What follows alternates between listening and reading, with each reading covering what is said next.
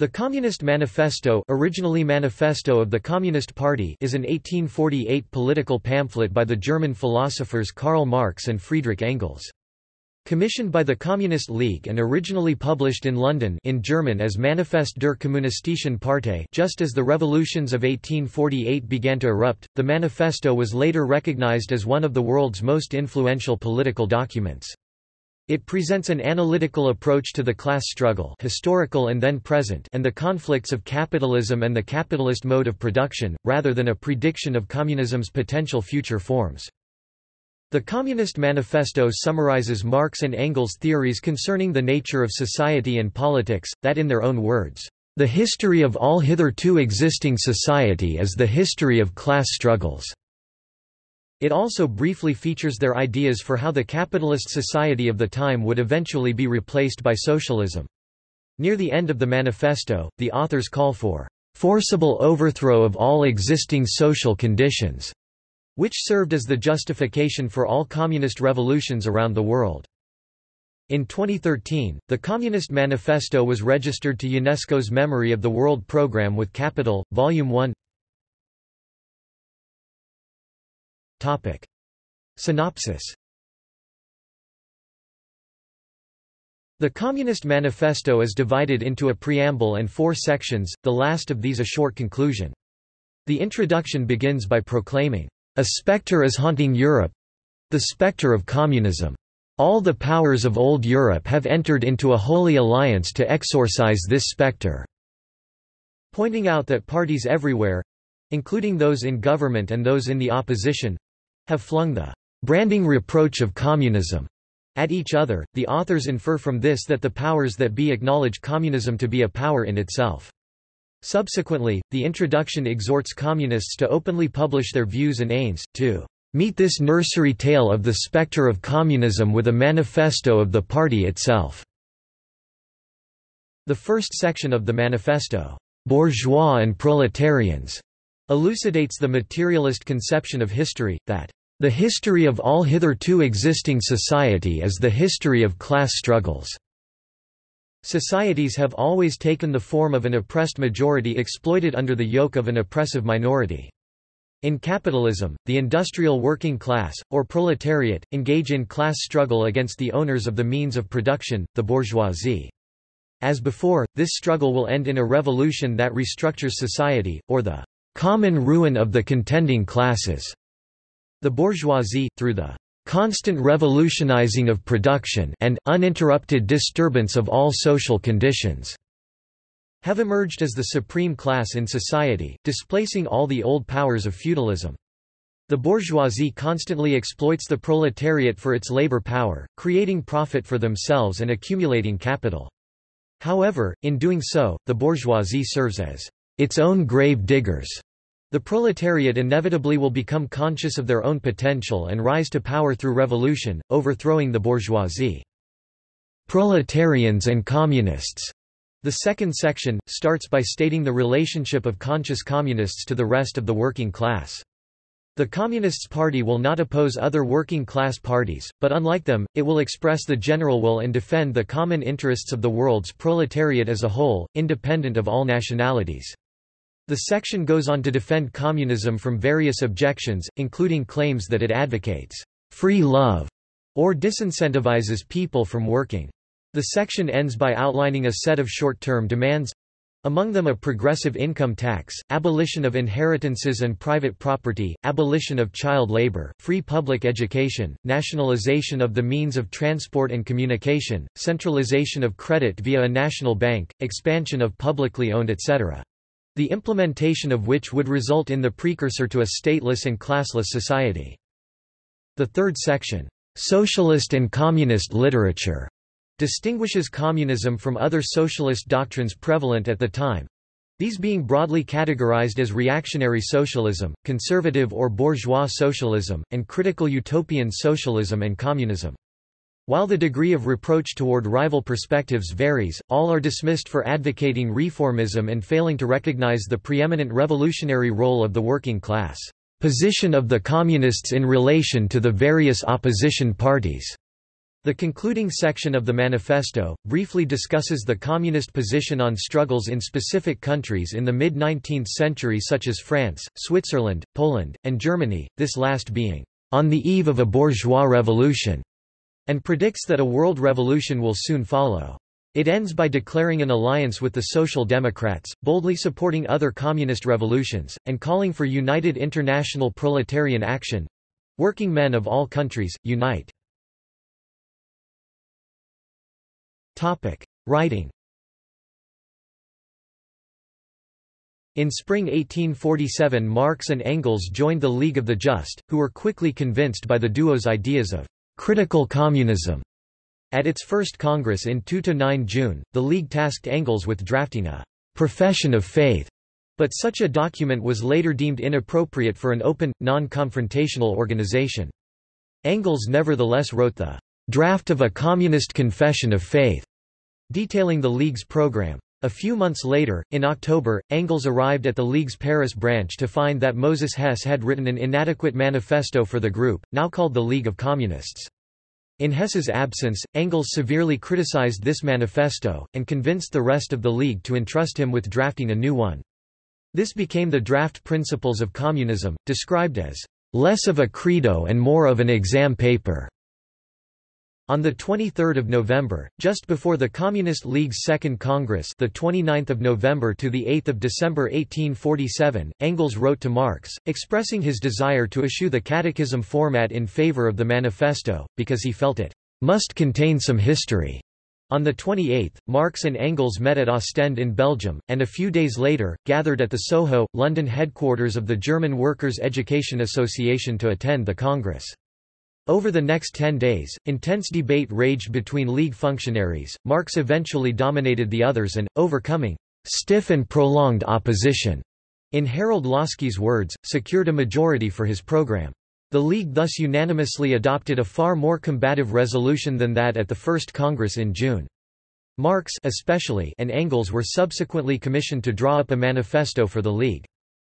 Upon returning to Brussels, Marx engaged in ceaseless procrastination, according to his biographer Francis Wheen. Working only intermittently on the manifesto, he spent much of his time delivering lectures on political economy at the German Workers' Education Association, writing articles for the Deutsche Brüsseler Zeitung, and giving a long speech on free trade.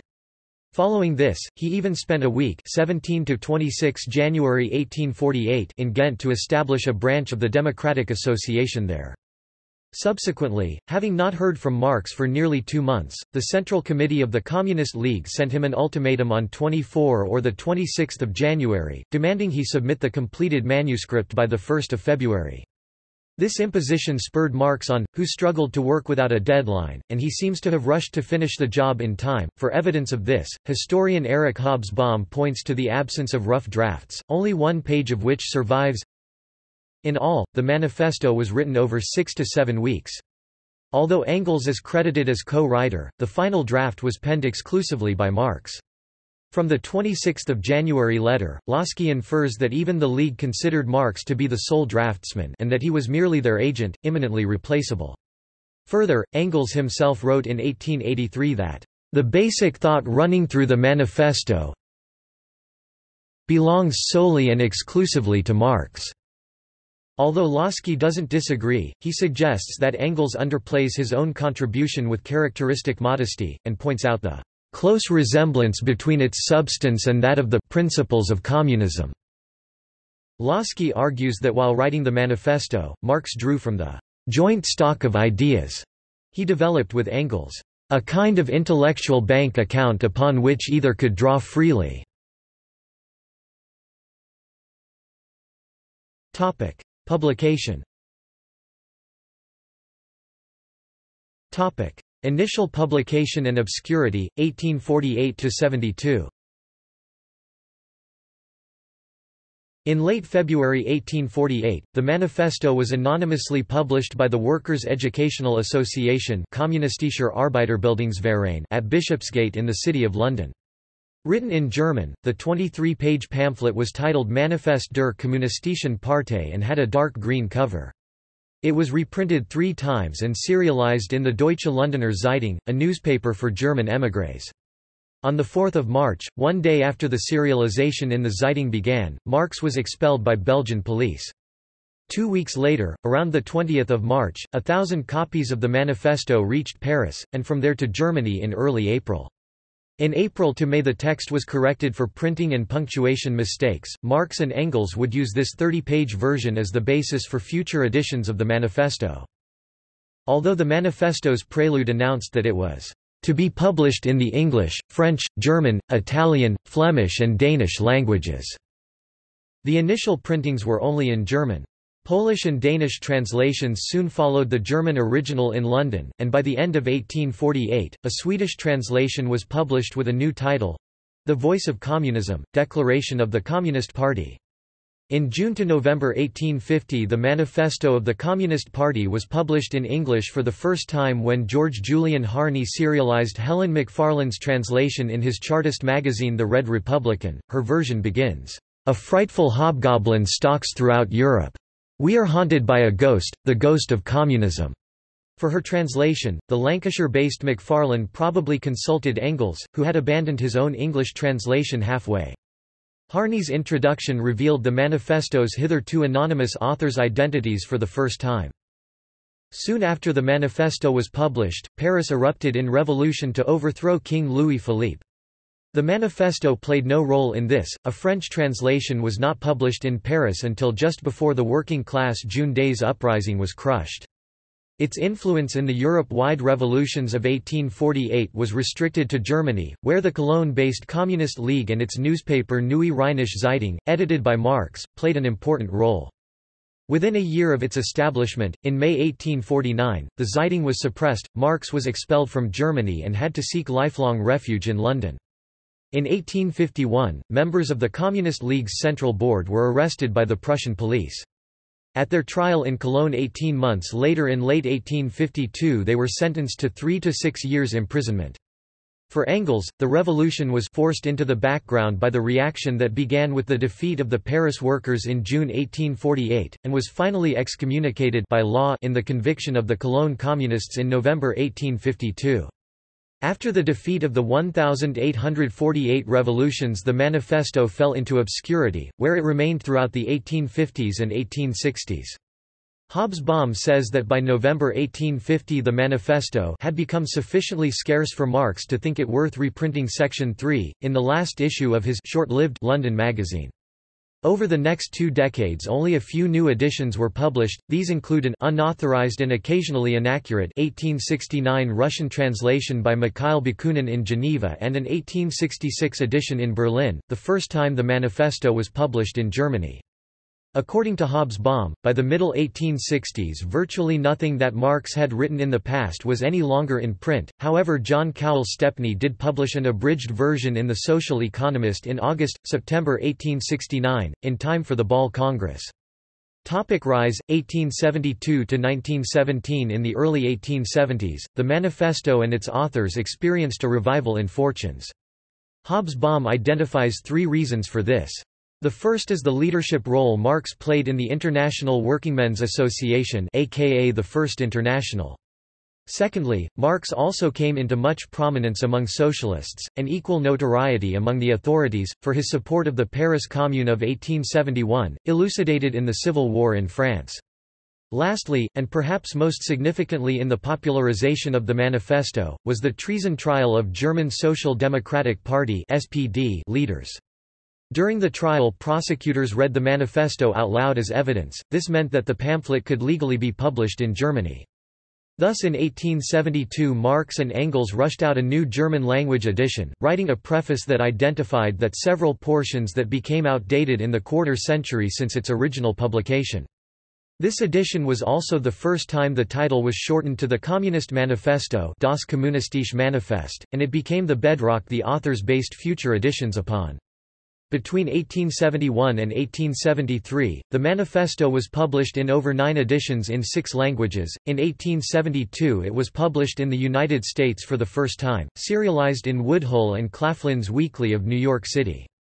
However, by the mid-1870s the Communist Manifesto remained Marx and Engels' only work to be even moderately well known.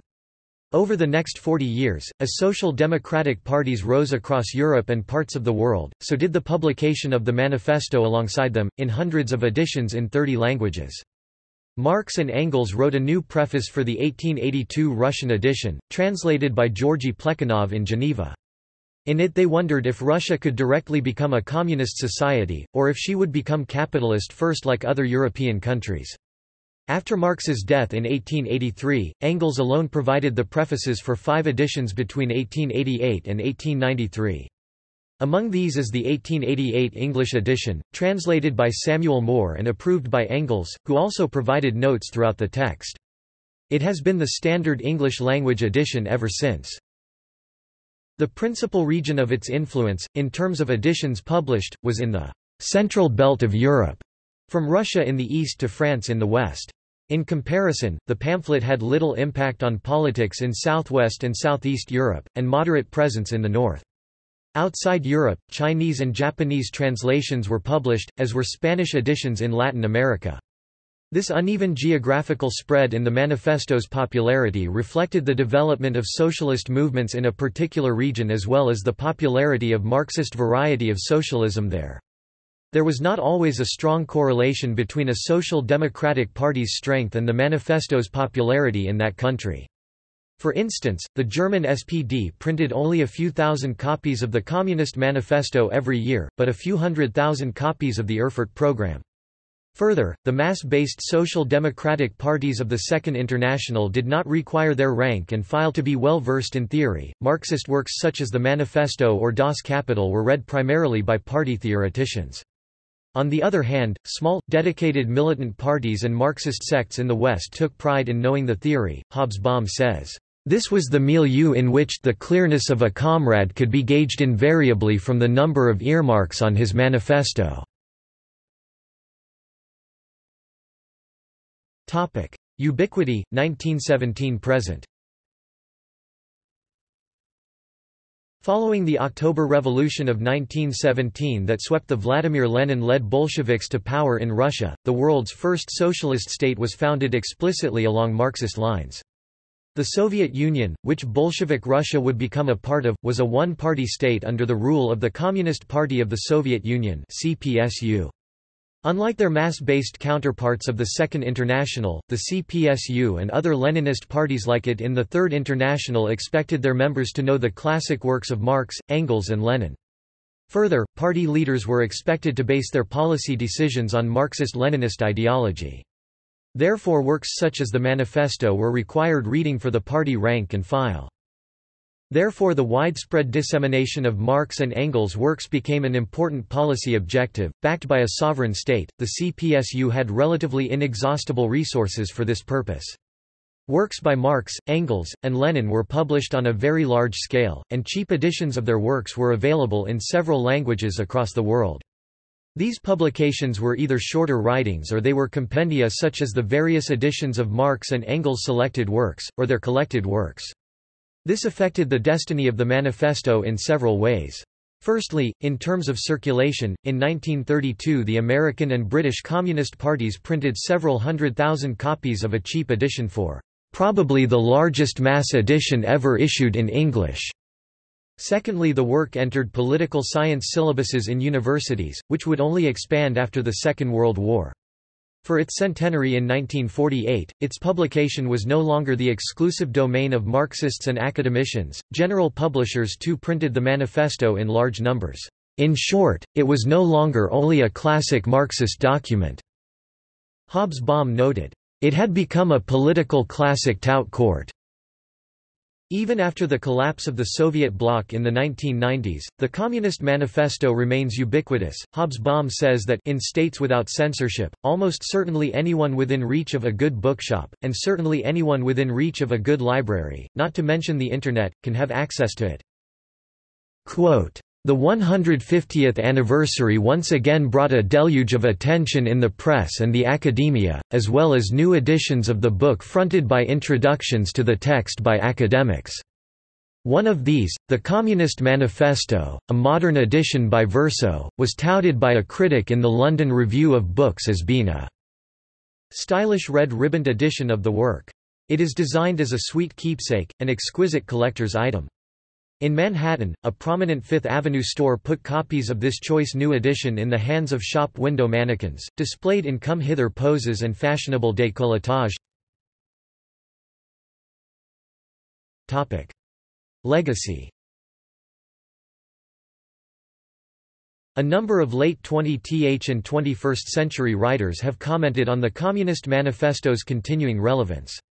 In a special issue of the Socialist Register commemorating the manifesto's 150th anniversary, Peter Osborne argued that it was the single most influential text written in the 19th century. Academic John Raines in 2002 noted that, In our day this capitalist revolution has reached the farthest corners of the earth.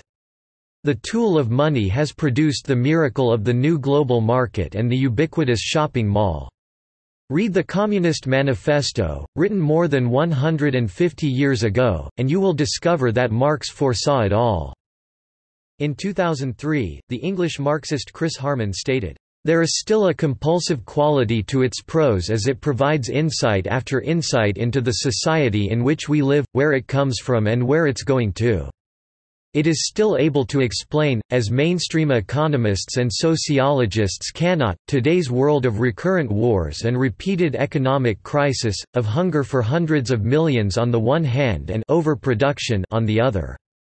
There are passages that could have come from the most recent writings on globalization. Alex Callinicos, editor of International Socialism, stated in 2010 that, "...this is indeed a manifesto for the 21st century." Writing in the London Evening Standard in 2012, Andrew Neather cited Verso Books' 2012 re-edition of the Communist Manifesto, with an introduction by Eric Hobsbawm, as part of a resurgence of left-wing themed ideas which includes the publication of Owen Jones' best-selling Chavs, the demonization of the working class and Jason Barker's documentary Marx Reloaded. In contrast, critics such as revisionist Marxist and reformist socialist Eduard Bernstein distinguished between immature Early Marxism as exemplified by the Communist Manifesto written by Marx and Engels in their youth that he opposed for its violent Blanquist tendencies, and later, mature Marxism that he supported. This latter form refers to Marx in his later life acknowledging that socialism could be achieved through peaceful means through legislative reform in democratic societies. Bernstein declared that the massive and homogeneous working class claimed in the Communist Manifesto did not exist, and that contrary to claims of a proletarian majority emerging, the middle class was growing under capitalism and not disappearing as Marx had claimed. Bernstein noted that the working class was not homogeneous but heterogeneous, with divisions and factions within it, including socialist and non-socialist trade unions. Marx himself, later in his life, acknowledged that the middle class was not disappearing in his work Theories of Surplus Value 1863. The obscurity of the later work means that Marx's acknowledgement of this error is not well known. George Boyer described the manifesto as very much a period piece, a document of what was called the hungry 1840s. Many have drawn attention to the passage in the manifesto that seems to sneer at the stupidity of the rustic, the bourgeoisie, draws all nations into civilization. It has created enormous cities and thus rescued a considerable part of the population from the idiocy sic, of rural life. As Eric Hobsbawm noted, however, W. Heil there is no doubt that Marx at this time shared the usual townsman's contempt for, as well as ignorance of, the peasant milieu, the actual and analytically more interesting German phrase, Dem Idiotismus des Landlebens Entrissen, referred not to stupidity, but to the narrow horizons, or the isolation from the wider society, in which people in the countryside lived. It echoed the original meaning of the Greek term idiotes from which the current meaning of idiot or idiocy is derived, namely, a person concerned only with his own private affairs and not with those of the wider community. In the course of the decades since the 1840s, and in movements whose members, unlike Marx, were not classically educated, the original sense was lost and was misread. Influences Marx and Engels' political influences were wide-ranging, reacting to and taking inspiration from German idealist philosophy, French socialism, and English and Scottish political economy. The Communist Manifesto also takes influence from literature. In Jacques Derrida's work, Spectres of Marx, The State of the Debt, The Work of Mourning and the New International, he uses Shakespeare's Hamlet to frame a discussion of the history of the International, showing, in the process, the influence that Shakespeare's work had on Marx and Engels' writing. In his essay, Big Leagues, Spectres of Milton and Republican International Justice Between Shakespeare and Marx, Christopher N. Warren makes the case that English poet John Milton also had a substantial influence on Marx and Engels' work. Historians of 19th-century reading habits have confirmed that Marx and Engels would have read these authors, and it is known that Marx loved Shakespeare, in particular. Milton, Warren argues, also shows a notable influence on the Communist Manifesto. Looking back on Milton's era, Marx saw a historical dialectic founded on inspiration in which freedom of the press, republicanism, and revolution were closely joined. Milton's republicanism, Warren continues, served as a useful, if unlikely, bridge, as Marx and Engels sought to forge a revolutionary international coalition. References Topic. Source text Karl Marx, Friedrich Engels 2004 1848. Manifesto of the Communist Party. Marxists Internet Archive. Retrieved on 14 March 2015. Topic. Footnotes Topic. External links The Communist Manifesto at the Marxists Internet Archive. The Communist Manifesto in 80 world languages. Manifest der Kommunistischen Partei, Veröffentlicht im Februar 1848 Original 1848 edition in full-color scan. The Communist Manifesto public domain audiobook at LibriVox. The Communist Manifesto, a musical piece composed by Erwin Schulhoff, at YouTube. On the Communist Manifesto at Modkraft DK a collection of links to bibliographical and historical materials, and contemporary analyses.